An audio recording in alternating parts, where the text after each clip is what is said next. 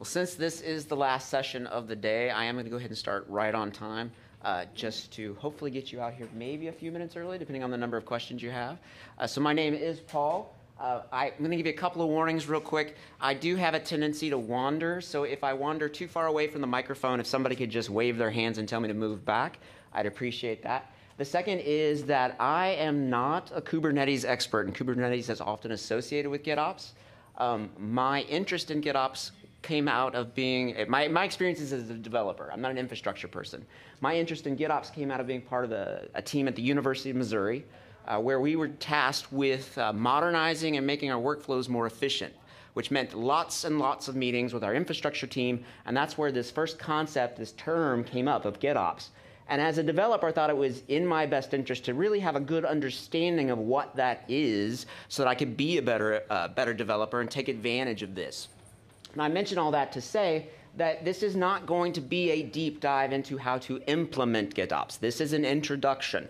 Uh, so if you're looking on, if you're expecting to learn how to, to implement Hex or, uh, I just forgot all my terminology, uh, or how to implement a GitOps, that's not what this is going to be. Instead, what I'm going to do is I'm going to go back through kind of the challenges and the history of our industry, so where, how we got to a point where GitOps is a solution that we might need.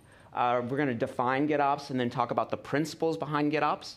Uh, we'll talk about how GitOps is different than DevOps. We'll talk about the advantages that GitOps can bring to your organization. And since many of you, since this is DrupalCon, many of you are probably developers, I'll talk a little bit about the specific advantage that, that GitOps brings to the developers. Um, and then we'll talk, and I don't like the word disadvantage. I probably should change that at some point. Uh, it's not really disadvantages of GitOps, but the things that GitOps doesn't address. So again, I, I, have a background in higher education. A lot of my analogies, a lot of my examples are higher ed focused. If you're not, I'll try to also give some other ones. But just remember that as I'm going through. So the challenges that we've always faced ever since we started putting things on the web is that in order to thrive, we have to innovate, right? Whether that's driving enrollment in, in, a university or you're trying to deliver new amazing digital experiences or features for your clients, we have to, we have to innovate, right? But innovation comes with complexity whether that's that you lack the resources or don't have enough talent in house. Uh, we're probably all under time constraints or budget constraints, but it doesn't just stop there, does it? Right? We have, you know, as we're trying to develop these features, as we're trying to deliver these new experiences, we're having to deploy and deliver those features faster and faster and faster to keep that innovation going. Uh, your developers are probably often pushing the stack, right? They need the newest runtimes, they need the newest services. They're pushing that stack constantly. Um, that can lead to stack diversity. So, back, way back, most of us were probably on the LAMP stack using Apache. At some point, you might have realized that Nginx was a little bit faster to respond to things. So, you developed an Nginx stack, and now you've got two stacks. And maybe you've gone to different vendors. Maybe you ventured out into virtualization or container, containerization orchestration. Um, you might venture out into new software architectures like microservices and decoupled. And somewhere, somebody is probably saying, hey, wait a second, as we create all this diversity, what about standards? What about compliance? What about security? That complexity is challenging to adapt to. It's, it's hard to move fast, especially historically. Um, you know, if you've got all these different applications, all these different stacks across different vendors, your, that development to staging to production workflow can get bottled down. And your, your teams end up spending more time fighting that infrastructure and solving problems inside of that infrastructure instead of developing those new features. It's also hard to collaborate, especially historically. Oftentimes in the past, your operations team, your infrastructure team was siloed. They were a completely separate team from your developers, which was a separate team from uh, maybe your marketing and communications people. And they often had competing goals, right? So your operations, your infrastructure people, their goal was to provide uh, healthy, reliant, stable platform for you to develop on. And that often meant getting it to that point and then freezing it. But we already talked about how developers are always needing to push that stack, right? So we've had these competing goals, which often leads to delays and frustration. In addition, if you didn't design that stuff from the beginning to scale, you could suddenly find yourself not being able to withstand that capacity, that incoming traffic.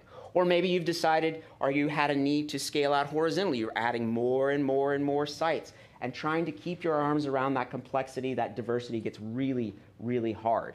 So, sometime around 2007, 2008, this idea, this philosophy of DevOps came about. And if you're not familiar with DevOps, it is a philosophy, it's a cultural change where you break down the silos between your teams and you bring these different teams together and you give them a singular goal instead of a hyper focus on satisfying that customer. And you do so with quicker uh, iterations on products. So it features collaboration between those teams. You're also going to automate as much as you can in that software development lifecycle and do that continuous improvement. The big advantage then is you have this improved collaboration or improved communications between your teams. Um, you have these shorter development cycles where you're releasing smaller bits but in a faster pace, which often leads to reduced deployment failures. Because you have less that you're introducing each time, it's more, it's more easy to go back and find those problems. So you end up with faster delivery features and uh, hopefully more time to innovate. But notice the big piece that's missing is that infrastructure, right? Because up, up until that point, we really couldn't automate a lot of the infrastructure. It was a lot of manual processes. In fact, how many of you are old enough and are willing to admit old enough that your first system, your first application, your first website that you deployed was to a physical server? Oh, good. Thank God I'm not the only one. How many of you that physical server was under your desk? Yeah, right? So back in the old times, when you had a system, when you had a website or web application, it was on a physical box, right?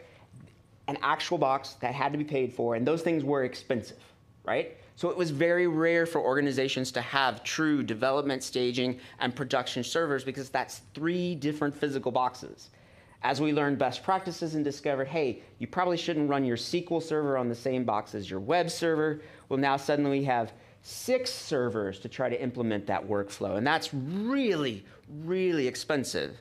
And it's also a lot of manual labor. There's a system administrator that had to physically set these up.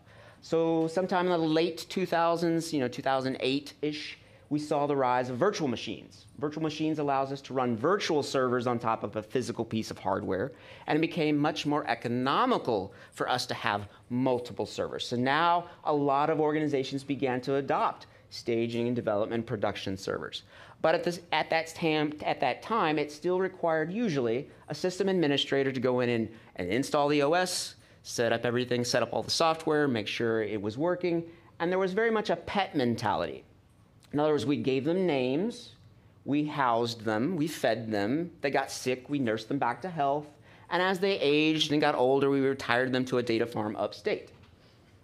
Okay, I thought we were just going to get a couple of laughs, but okay. So, sometime around the late 2000s, early 2010s, we saw the, the first iterations of, gener- of configuration management like Puppet and Chef. And this was a big step forward. Now, what we could do with these virtual machines is once they were provisioned, we could go in and install an agent, and then that agent would run through all the rest of the configuration and the setup. That was a big step forward. One of the problems, though, is our systems administrators are not developers and had not at that point adopted version control. So there wasn't a lot of central management of this configuration. So you ended up still with a lot of drift between systems administrators or even systems themselves. How many of you that remember deploying back to physical servers or virtual machines had, had problems where you'd identify a bug in production that you could not replicate in development? Yeah? Because of this little bitty drift, right? All this little drift. So these were a good step forward, but not quite where we needed to be. Uh, 2010, 2011, we saw the second generation like Ansible and SaltStack, which took over the provisioning and the ability to install an agent and set up all the configuration. And that's where we really began to see the possibilities of automation, where we could begin to centralize these scripts and automate the provision and setup. About that same time, early 2012, is where we saw the beginnings of cloud infrastructure being offered, so AWS and GCP, et cetera. Um, and if you're not familiar, you're probably familiar with cloud infrastructure, but it's, it's physical hardware, but through virtualization and software, um, these resources are available to rent out to you on demand. So CPU, networking, data storage, et cetera. And they all introduced their own versions of infrastructure as code. So on AWS, it's uh, Amazon CloudFormation. On Azure, it's Azure Resource Manager. But they were all slightly different. So we still had this problem where if you were on AWS back in the early 2010s, and you wanted to go to GCP, it was pretty hard because you had to essentially rewrite all of that infrastructure as code. So in 2017, Alexis Richardson introduced this idea of GitOps, and he was the CEO, I believe he still is the CEO of Weaveworks, and he had this idea. He said, why don't we take the very best of what we've learned from DevOps and apply it to the automation of infrastructure? And he had this idea of taking from the sysadmins and bringing the control and, the, and the, the ability to deploy this infrastructure back to the developer who needs it the most. And he had a grand idea that eventually the deployed systems would be able to monitor themselves between the desired state that, that we want and the actual state and heal themselves. Now, anything that kind of gets some legs underneath them, kind of gets a momentum behind it, uh, is eventually too big for one person. So eventually, the Cloud Formation, the Cloud Native Foundation, excuse me, took over GitOps as a working group and, and, and solidified some core foundations, some core principles of GitOps. And I'm going to go through these, and then we're going to walk through each one to make sure we're clear on them. And that is that the entire system is described declaratively the canonical desired system is stored and versioned inside of Git. Approved, changes can be automatically applied to that deployed system, and that some software agent inside the system is continuously diffing between desired state and actual state and reconciling that. So I want to I want to talk about each of these principles. I'm going to move just like just a little bit so I can come out. All right, so the first one, a system managed by GitOps must have its desired state expressed declaratively. So what do we mean by a system? How many of you have tried to set up a Drupal site on AWS? Anybody? Okay. You know it looks like this, right? That is a heck of a lot more than a web server and a database server, isn't it? It is all the pieces. It's all the environments, it's all the runtimes, it's all the software inside of an environment, it's all the services, it's the networking, it's the load balancing, load balancing, it's the, the VPNs, it's the IAM groups, all the access controls the system, when we talk about GitOps and a system, we're talking about all of the infrastructure components that make up what your application needs to run. All right, so the next one is desired state. We need to describe or we need to have a desired state. That is the aggregate, all of that system, a description of all of that system that it is required so that we can implement or deploy an instance of that system such that it is behaviors, behaviorally indistinguishable one from another. The last piece is it should be described declaratively.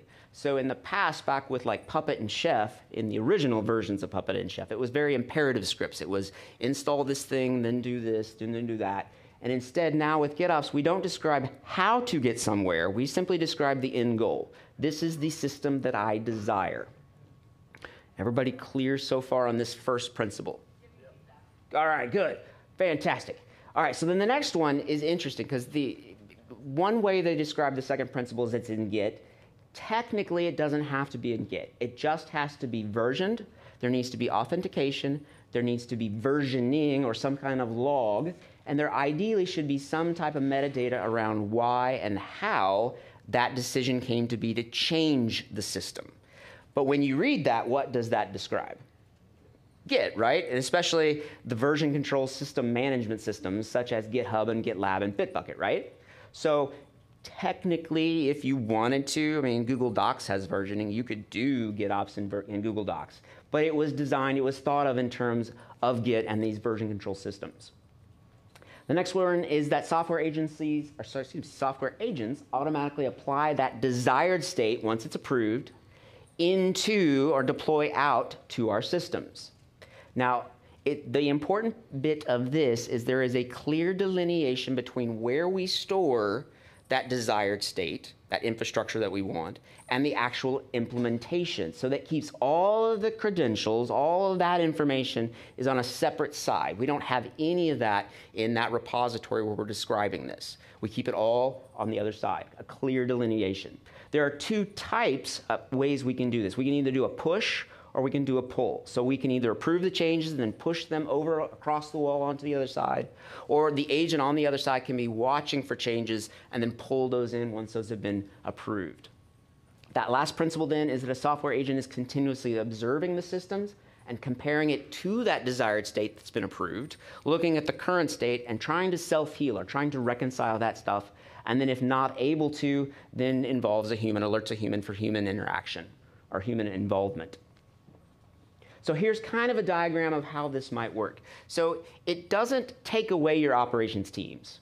I want to make sure that's clear. It does not take away your operations team. It simply separates the concerns about who is involved with what. So you still have, and hopefully you can see this laser pointer, uh, maybe not. So you still have a developer, right? And we've exposed controls of this infrastructure down to the developer. So the developer says, hey, I need a node environment. I need a node environment at uh, version 16. All right? They can push that up to the repository, start an MR, start a PR, and now everybody that needs to be involved can be involved in approving that change. Once that's been changed and approved, it can kick off a pipeline to build an image, and then that software agent watching can pull that image in and deploy it out to our cloud resources. In addition, we might have software reliability engineers. That's what that SRE stands for. Those people are in charge of all that stuff the developer doesn't want to worry about load balancing, network, firewalls, all that stuff. That's not a concern to, I mean, I don't. I don't particularly care about that stuff as long as it works. I'm interested in PHP 5.3. 5.3? 8.3. Let's go with 8.3. PHP 8.3. 5.3 is really old, sorry. So PHP 8.3, right? I'm not concerned about any of the rest of that stuff. But somebody has to be. So they can be working on that, send their changes up, work through the same workflow, maybe have pipelines, and that system can be watching for those changes and implement those. Everybody's still good. All right. I know it's late in the afternoon, everybody's kind of quiet. It's all right. So then how is GitOps different from DevOps? Well, DevOps is more of a cultural change. It's breaking down those silos, giving everybody a similar goal, similar not requirements, but a similar uh, set of set of goals. and fact, hyper focus on the customer and delivering those features, and automating as much of the software cycle as possible. GitOps is entirely focused on a framework of being able to apply those best practices to infrastructure automation. So you can do DevOps and not do GitOps you can do GitOps and not do DevOps, but they are very complementary. They go very well together. So if you are doing DevOps, it is a good idea to begin to look into GitOps to see how it can complement your DevOps philosophies. All right, so why? What are some of the advantages that we can do? Well, a big one is you have greater deployment frequency. What I mean by that is in GitOps, one of the things we said was a principle was we have to be able to describe that infrastructure in its totality such that we can create it again and they're always going to behave the exact same way, right? So if I create an environment based on that information in a pull request and I test it, how should it function when I deploy it? This is where you answer me. Just how should it, how should it work? Exactly, it should work exactly the same way as it just did because they should always be the same. That's the whole point. So you can deploy much more frequently because you know what you're deploying has already been tested. It is going to behave the exact same way. So you have much greater frequency in deployments. You also have a quicker time to recover from an incident because, just like with Git, if I have code, if I have a bug that's been introduced to code, I can roll back to a previous git commit. Those git commits are immutable. I know that that commit has been tested. So now I can roll back all of my infrastructure. And I know that when I deploy it, when I've rolled back, it's going to behave exactly the same way it did back at that previous state. It's also less error prone because we've removed a lot of the human interaction for drift to be introduced. We've automated a bunch of it. In addition, because we've involved Git, pull requests, merge requests, some auditing on it, it should be less error prone because more eyeballs have been on it. They've all looked at it, tested it, plus we can actually run it through testing before we move it on, which all improves your security and compliance because each of these systems, especially if you're starting from a base collection, a base repository, they should all be working exactly the same way. You can bake in those security requirements and you know that every instance that comes from that repository is going to have the exact same security, the exact same compliance. In addition, all of the configuration for the infrastructure is typically in YAML or JSON or something like that, so it can be easily audited and all the changes are in Git, so they're versions, so we can go back and see exactly who did what, when, and where. All right, so how many of you are developers? Okay, good, good. Okay, so what advantages do you get? Well, the big one that Alexis envisioned was that, I mean, we're the ones pushing these things, right? We're the ones pushing the stacks. So why not get that control that allow us to decide what it is we need to do to do our jobs? All right, so the big push in GitOps is to expose that back to you so that if you need, again, like a Node 18, you need Python 3.9, whatever it is you need, you should be able to say, I need this, push and deploy and get it so that you can begin to innovate. He had this grand idea that the whole experience for the developer, all they would need to do is git add, git commit, git push, and now you've got your infrastructure. So you're probably all using Git, most likely, or some version control of some sorts, right? You've probably all used YAML files and JSON. So the onboarding is much easier because it's all things you're already familiar with. Plus, now, if all of my infrastructure is deployed and managed through GitOps, it's all going to work in a similar fashion. So it doesn't matter what runtime it is, it doesn't matter what service it is. All that matters is changing the name and exactly what I want and describing it. Otherwise, it's the exact same. So onboarding new developers is much easier. Now, I will say that my coworker from the University of Missouri tomorrow is doing a talk on Thursday about onboarding and some of the challenges they still face. But in general, GitOps should ease that onboarding process. The big thing for me, though, was the same realization that I had when I finally learned Git. And that was I could experiment and fail with confidence that none of that was going to leak back into my production systems. Right? Like if you have a new idea and you want to test it out, you can take a branch on Git, right? Because branching in Git is cheap and easy. Create a branch, play with it. You don't like it, you cut it off. You do like it, you merge it in. It's very quick, easy, it's cheap to do. That same philosophy now applies to your infrastructure. If you are suddenly going, hey, we should experiment with how our module functions in PHP 8.3 because it's coming up in less than six months, well, it's just a branch and now you start working if something comes along and hey, there's a bug, we got to go fix it, you can leave that branch, switch back to your production branch, make your changes, push them out without having to worry about that going away or disappearing or leaking back in. You can then take any of those changes that you had to make and incorporate them back into that branch. This is the same thing for now for infrastructure. You want to play with Node? It's just, hey, I want Node. You want to play with Python, building out some APIs. You should be able to just say, give me Python 3.9 and let me go. All right, all of that now is given, that control of this infrastructure is brought back down to you who are doing the innovation. And so then, because you can experiment with confidence that you can fail and then retry and learn from that failure and do it again and again and again, all that's going to lead to faster iterations because you don't have to worry about waiting on a ticket for somebody to create that instance for you. You don't have to worry about taking down your current development server to bring up another one. This is going to allow you to iterate much faster. So some shortcomings of GitOps. Again, I don't want to say disadvantages, uh, but you kind of need to be cloud native, uh, or at least be heavily into con- containerization and virtualization because you've got to be able to automate these things. Got to be able to describe it in a declarative fashion and then have something be able to read that information and deploy this um, you end up with a lot of Git repositories, right? All of your infrastructure now is being described and is going to be stored in Git. Each project might be its own repository, so you end up with a lot of repositories, which can make auditing a bit more complex. It's all in YAML, it's all in JSON, but it's spread out across all these different repositories. You kind of got to bring them all back in together to do that auditing.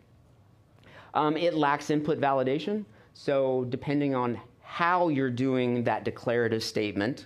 Um, it GitOps by itself is not going to ensure you've described that correctly. That's going to be on you to decide how you want to implement, whether you're going to use something like a Terraform, which will do some input validation and then also translate to the different cloud providers, or you're going to do something in house. Uh, it doesn't address persistent application data, so, so your database storage, your file storage doesn't address that. It also doesn't solve centralized secret management. So if you've got API tokens that you need to store and inject into those environments, GitOps by itself does not address that particular piece. That's, that's another piece that you're still going to have to figure out. So in grand terms, GitOps is a wonderful idea, right? In fact, let me ask it this way. How many of you have worked in a DevOps shop? Because DevOps is a solid philosophy, right? How many of you worked in a shop where they've done DevOps or they've done Agile, and it's definitely not Agile or DevOpsy. Yeah, right? Okay, so there is a there's a big leap from the philosophical uh, ideals, right? And I liken it to when you see these kind of uh, tutorials where it's like, okay, you want to draw an owl? Okay, draw two circles. Now finish the owl, right? And It's, it, there's a lot of steps in between. So there are a ton of tools and resources available to you in the open source world to do your own implementation of GitOps. Flux, Helm, Weaveworks has a whole collection, tons of different resources. But it is left for you to figure out how to get there. So if you are sitting there going, GitOps sounds good, it is going to complement our current workflows. I like these ideas, but I don't have the resources. I don't have the talent in staff to maybe implement this. I definitely want to check this out. At the university, we ended up going with a company called Platform.sh. That is the company I work for now, so I will let you know. Um, and we did that because they are based on Git. They are a fork of Git with proprietary technology. They have been GitOps for over 10 years. That is their entire workflow is a GitOps workflow. Everything I've talked about, they've already solved. All the secrets management, persistent data, all of that, they expose the infrastructure back to you as code so you as a developer can stop focusing on infrastructure and start, and start focusing back on developing those new features. And in fact, if you remember Larry Garfield, who used to be big in the Drupal community, he once said that platform.sh is, in a sense, you know, a, a not having to build and maintain a, comp, a complicated GitOps pipeline as a service. So again, we've, we've taken over all that ops piece of GitOps, all that site reliable engineer, reliability engineer piece, all the security aspects, the compliant aspects, all those pieces, and given that back to you so that you can implement a GitOps workflow. We can't make you a GitOps shop. Can't do that. That's still kind of a cultural change. But we can certainly give you a good foundation and all the tools to adopt that GitOps mentality and have that cultural change at your organization. Now, if you instead would prefer to do that in-house, tons of resources available to you. The top two are part are owned by the Cloud Native Foundation and that working group for GitOps. Um, of course, GitLab, Atlassian with Bitbucket, uh, GitHub are all going to have articles and tools on how you can adopt a GitOps workflow because obviously they're part of that GitOps workflow. It's in their best interest. Um, and that last one is actually really cool um, for a couple of dollars worth of AWS resources. It's a tutorial, a tutorial that will walk you through all the steps necessary to implement your own instance of a GitOps workflow on AWS. So it's really cool to get your hands in there and kind of get dirty on how all these things work and how the system really works. All right, so that's kind of my talk. Oh, good. That's about exactly what I wanted it to be. So that is my business card if you'd like to get a hold of me. Um, but I'd happy to be take, take on any questions that anybody has. You're all either stunned or I didn't make any sense at all. Uh, so I uh, would say that most typically you would be using Kubernetes as your containerization service for implementing GitOps in order to make it vendor agnostic, right? It could, it could be Kubernetes. It certainly could be Kubernetes. That's why I mentioned at the beginning Kubernetes is often associated with GitOps, but it can be any containerization orchestration system doesn't necessarily have. Oh, the question was, uh, is it oh, is it usually going to be Kubernetes to do this? And it's it can be any orchestration system. What, what, what are the alternatives that are? Oh, that is a good question. Um, help me out, Haley. No, else it's not CLX. L- oh, I can't remember them. LXP. Thank you. What was that? LXP. LXP. Okay. And I know there's more. There's a lot of different orchestrations, but Kubernetes is often associated with it. It's kind of the big one. Any other questions? I, I think uh, another thing that is really important is also that it makes this disaster recovery really very quick. And it also uh, makes scalability much easier. Yes, exactly. Because if you need to scale, all you have to do is change the configurations. All you have to do is say, okay, instead of one CPU, we want two CPUs, or however you ended up describing that. And exactly, the disaster recovery is much faster because you can roll back just like you roll back code. And you know it's going to it's gonna behave exactly the way it did at that point because that point is immutable. It's not changed. Uh, I have one more question. Sure. Uh, uh, one of the points that you uh, made in the beginning was uh, that uh, your, your GitOps solution will monitor and maintain your state. Can you talk a little bit more about that, uh, what that implies and what that includes? So there is going to be an agent, a GitOps agent that you'll install into the deployed infrastructure. And what it's doing is reading the configuration files of the current, of the desired state, and comparing them to what is actually there. Then that will begin a process of trying to re-implement the desired state. Depending on which one you use, will have different ways that it does that. Kubernetes has its own self-healing, and I forgot what it's called, but Kubernetes has its own. Each implementation is going to have its own version of how it does that. But it is going to simply read that configuration and compare it to what's currently in production and attempt to reconcile. Got it. Okay. Yeah. How on earth would those things ever get out of sync? I mean, if you're using a YAML file and you're using uh, DevOps to deploy and create your infrastructure, how in production is that ever changing from what Wow. it's, it's done? I, I'm, I'm going to say I do not know how that would happen. I mean, what's it? Yeah, humans. I mean, oh, I think I just blacked out my screen. Sorry about that. It could be human interaction, although it shouldn't be possible. Though I guess if, because of all the credentials are on the implementation side, if somebody had access them, to them, they could make that change, although they shouldn't. Uh, I don't know of another way it could, but I'm sure it is, since that is a principle of it. Yes. Yeah, currently, actually, we are the hosting provider, we have something like Pantheon, Acquia, hosting provider, we are using. We are following first, change, making the changing the hosting. Mhm. Like I'm changing the Acquia server means inside Apache Solr means I'm changing first in Apache Solr in or Pantheon. Okay. Then we are trying to replicate in the local environment with the Lando. Okay. Docker compose or something we are doing. But this approach, I think, from first we are doing in the local with Docker compose, or YAML, how the Acquia or would support.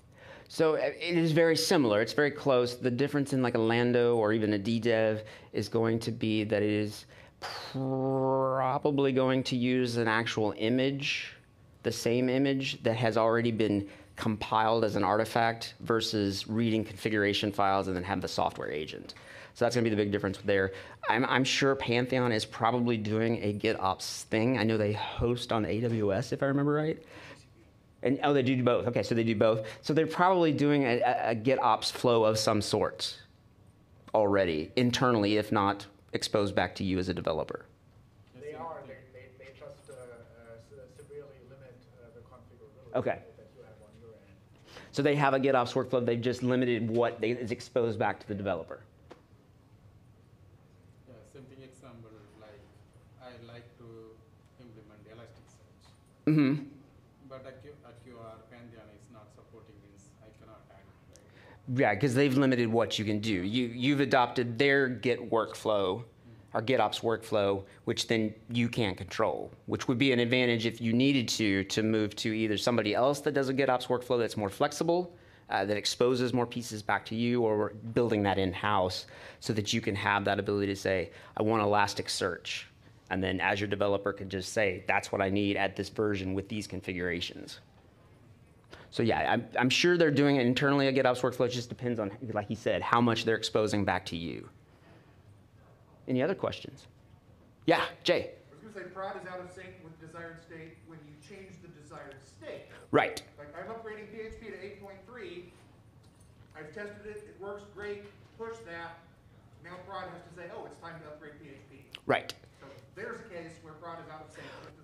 That's a good point, right. And that's why there's that push. And so that push would say, hey, I've gotten a new change. I need to implement it. Or I've noticed I'm out of sync now and then going to implement that. So that would be one case, uh, a, a desired instance of where that happens.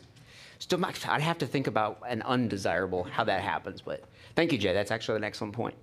Yes, John. John's gonna. John and I are good friends, so he's probably gonna heckle me. A a state that that would happen is like if your uh, network attached, attached storage like disappeared from your. uh, Oh, that yeah, that's a good idea. Yeah, because in GitOps, we don't. It doesn't specifically address that network storage. So network storage might disappear during that, or network issues. Yep, that's a good point too. Any other questions? Yes, Jessica. I actually had a question for the room. Oh, sure. Developers in the room, how many of you are using Git today? Or using Git? Okay, Is any? Oh, um, can I ask one? Is that okay? How many of you are already doing GitOps? Is anybody doing GitOps? Okay, a couple, or semi sorta. Okay. Cool. All right. Did you learn something new? I hope. Maybe a little bit. Okay. Maybe. Okay. Just checking. Any other questions? All right. Well, if there's no other questions, I'll give you back uh, an extra 15 minutes for your day. Uh, and again, this, like I said, I would ha- be happy to talk about this. I'll be at our booth um, tomorrow, and then I'm also going to be here at the Higher Education Summit on Thursday. I, it's super easy to find me. There's like 20 Gilzos in the states, and they're all related to me. So search for Gilzo, and you're going to find me or a relative. Thank you.